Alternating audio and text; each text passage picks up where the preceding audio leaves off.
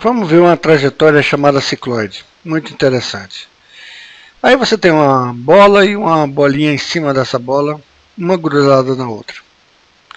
Para nós entendermos melhor, vamos pensar que isso seja um pneu de uma bicicleta e aquilo ali seja o pito, onde você enche o ar da bicicleta.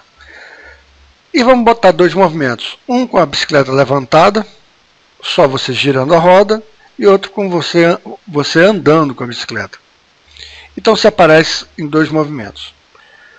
Então essa, esse movimento da roda levantada, o pito vai descrever um movimento circular. Está aí, ó, do lado esquerdo, essa bola, essa bola rosa, você vê que o pito descreve um movimento circular. Ou seja, em relação ao eixo da roda, ela está descrevendo um movimento circular.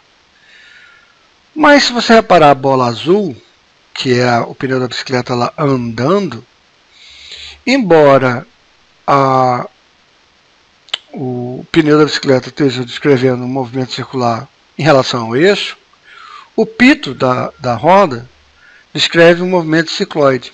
Nesse momento ela para, e nesse momento ela tem a máxima velocidade, quando ela está em cima.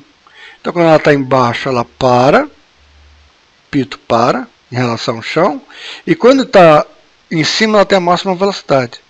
Esse movimento nós descrevemos como cicloide, é um movimento muito interessante. Até a próxima aula.